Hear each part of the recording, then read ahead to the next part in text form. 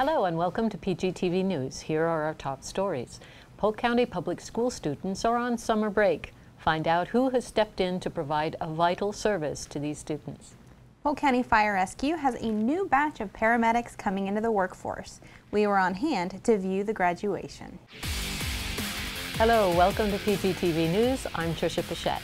And I am Tina Mann. Summer break for students has begun, and most of the 105,000 Polk County Public School students are used to receiving breakfast and lunch at school when school was in session. Summer Break Spot, a statewide initiative through the Department of Agriculture and Consumer Services, will provide free meals to children 18 years old and younger while school is out. Oscar J. Pope Elementary School is one of many locations where the summer meal program will be. Oscar J. Pope Elementary School Principal Carol Griffin said, We're a community. We're here for our kids. I consider us to be a little school with a big heart. The United States Department of Agriculture's April 2019 School Nutrition and Meal Cost Study shows that the National School Lunch Program and School Breakfast Program provide 30 million federally subsidized lunches and 15 million federally subsidized breakfasts to children each school day. Last summer, more than 4,000 sites in Florida helped serve nearly 15 million meals to children. That's fantastic. It is fantastic, especially here in Polk County where there is unfortunately widespread homelessness and poverty. So making sure these kids get a healthy meal in the middle of the summer is very important. Recently, Polk State College's Center for Public Safety had its first graduation from its accelerated paramedic program. The graduates completed an eight and a half month course and are now paramedics. In my opinion, a new firefighter is one of the most important assets a fire department possesses. To me, a new firefighter represents the future and how much we can achieve as an organization. Our organization cannot expect long-term success if we do not recruit, develop, and retain talent. Every one of the individuals here today have successfully completed a very challenging paramedic school and have a lot in common. And the biggest attribute they share is the potential they possess. You would not be here today if we did not see your potential talent. The fact that you made it through this very tough year is a testament to your character and your willingness to do your best. Before I was a professional horse trainer, I worked for Al-Marah Arabians, which is the um, largest privately owned herd in the U.S., um, based out of Clermont, Florida.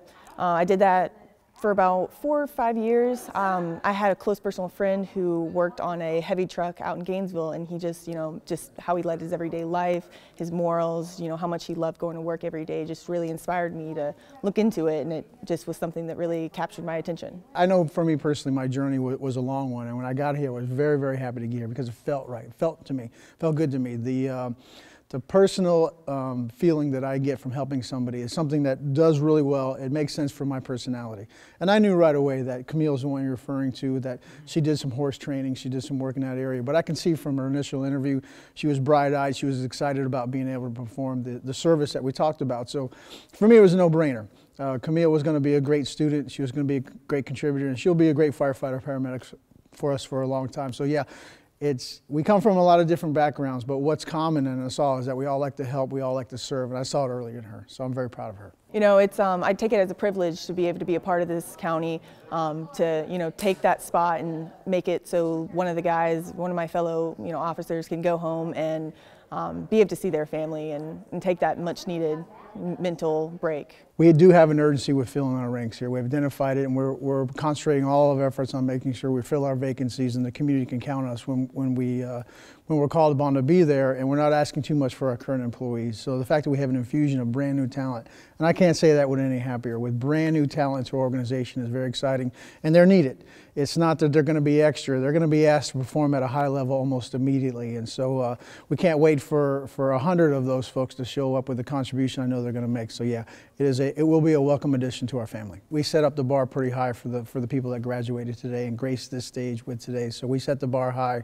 We let them know we were going to set the bar high and they performed exceptionally. So I'm very proud of them. I look forward to their careers and the things that they're going to accomplish. You know, what I try to remind them of, today's the first step and I'm very proud of what you did here today. But I'm also very, very excited about the, what the future holds and how our community can look forward to the service that they're going to provide. So the fact that they took care of an eight-month program and all, actually only a year is, says something about the, the character of each individual here tonight. And I'm actually very, very proud and very, very happy of each of them. Well, there's a shortage in Polk County of um, both firemen and paramedics, so it, it's nice to know that we have more on the way. Absolutely. Congrats to the graduates. Center State Bank donated $30,000 to Faith Extreme, a nonprofit in Winter Haven. Faith Extreme's program, The Refuge, provides a safe and uplifting environment for children, according to a company statement. The Refuge will use the money to provide nutritious meals for children while they are attending refuge clubhouses in Inwood and Eloise. The Refuge trains teenagers in several community service activities such as planning birthday parties for kids in crisis, assisting in home cleanup for those not able to manage those tasks themselves, and spreading Christmas cheer to the elderly and needy families. That's wonderful. That is wonderful. I mean, in a society where where me me me, it's awesome that we're teaching teenagers to give back. Absolutely. Lakeland commissioners approved donating 912 and 920 North Vermont Avenue to Talbot House Ministries. Talbot House is a nonprofit provider of housing and services for the poor and homeless. According to CRA Director Alis Drumgo, Talbot House Executive Director Brenda Reddout approached Lakeland Community Development Agency in March, expressing an interest in converting the property to affordable housing units. In 2018, the City of Lakeland foreclosed on the properties after numerous code violations for illegal dumping and criminal activity. Under the agreement, Talbot House must raise or secure $600,000 needed for renovations to the property by November 30th, or the land will come back under the city ownership. That's awesome. Sounds like a lofty goal, but hopefully they'll be able to do it. Well, we're short of affordable housing in, in Lakeland, so that's, that's fantastic. Absolutely. Polk County's Helping Hands Jail Transition Program has been around for one year and has already received recognition from the National Association of Counties. The Achievement Award honors innovative and effective county government programs that strengthen services for residents. Polk County Helping Hands program started after the late Dr. Thomas McMicken, a member of the Sheriff Advisory Council, approached Sheriff Grady Judd about helping the mentally ill keep taking their medications after they leave jail. The National Association of Counties recognized Helping Hands as best in the category of criminal justice and public safety. Helping Hands uses community paramedics alongside recovery peer specialists to assist inmates with community reentry. Polk County Sheriff Grady Judd said he is grateful for Dr. McMicken's mission and Helping Hands because we are making a positive difference in this community.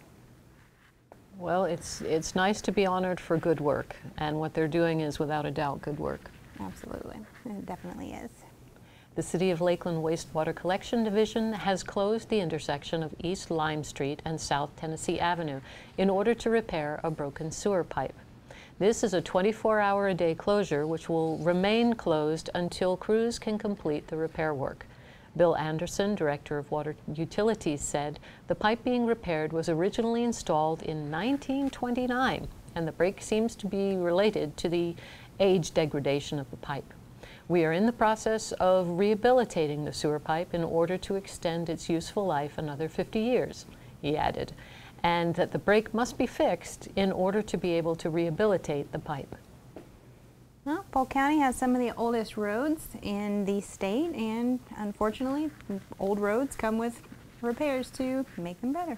Yeah, but we're on it. We are on it. We're going to get it done. The City of Lakeland Wastewater Collection Division will replace a failing manhole located at the intersection of Sand Gully Road and Windsor Street. The manhole structure has degraded and could eventually collapse, so crews are ex expediting the replacement process. The intersection of Sand Gully Road and Windsor Street will remain closed during the project. The roads approaching the intersection will be closed to through traffic, but there will be local traffic access. A sanitary sewer bypass will be set up to maintain the flow of wastewater while the project is underway. Sean Russ, wastewater engineer technician, said this manhole replacement is on a major trunk line that flows approximately 3 million gallons of wastewater per day.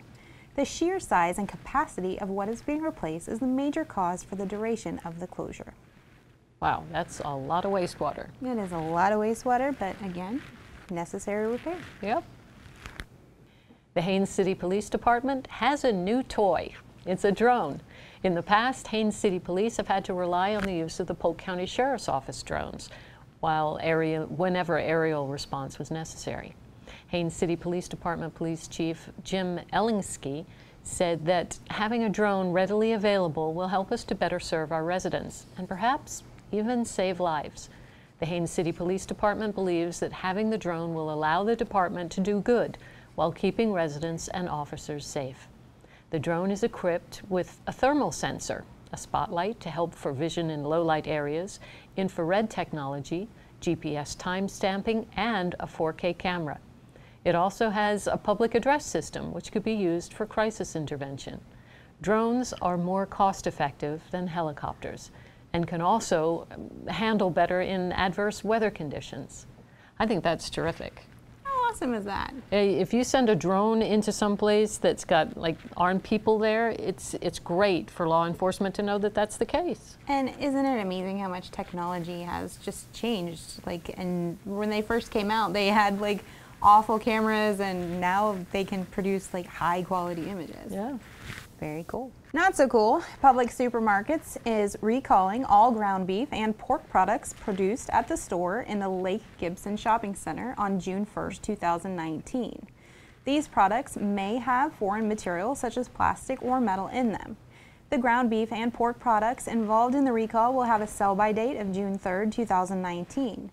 This only pertains to products ground in the store, such as ground beef, ground pork, meatloaf, meatballs, and ready-to-cook meals containing ground meat and sold in the meat case. Customers are encouraged to return this product to the store for a full refund. Consumers who have additional questions or concerns should contact Publix customer care at 1-800-242-1227. I think that's terrific, though. Publix erring on the side of caution have instituted their own recall. That's great. Yep. Well, that wraps up the show. Thank you for tuning in. Don't forget to tune in again next week for another installment of PGTV News. We'll see you next time.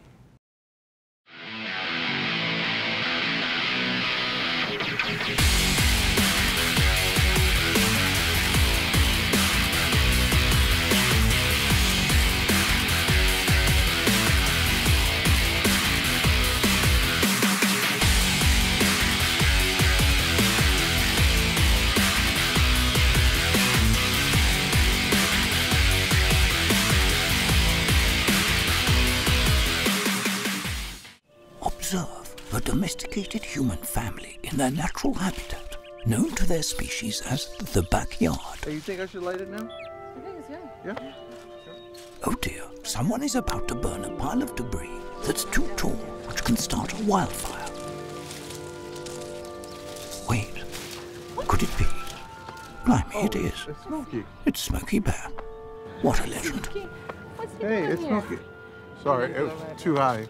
I Right. Watch as he astutely ensures that there's no wind and how he removes some of the debris to create a smaller, safer burning pile. No, you me to said, make it bigger. No, you said make it bigger, baby. The bigger, the better. Take note of our fearless I get it. furry friend here, humans. I appreciate it. Fist bump. Watching you. Smokey's done it again. Bye, Smokey. Only you can prevent wildfires. In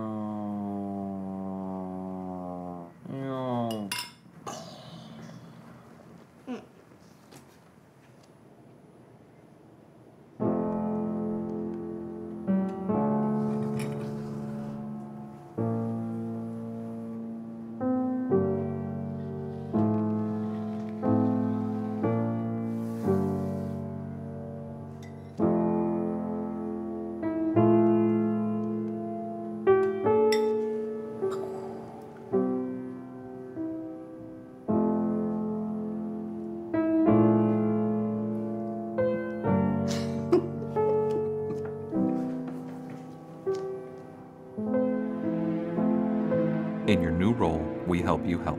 Visit aarp.org slash caregiving for information on how to provide even better care for the person who wants. Marie, you have prediabetes. Prediabetes? I don't have time to eat right or exercise. I'm a busy mom.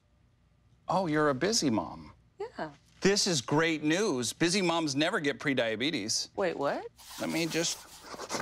Yeah, this is all the people at risk for prediabetes, and way over here, busy moms.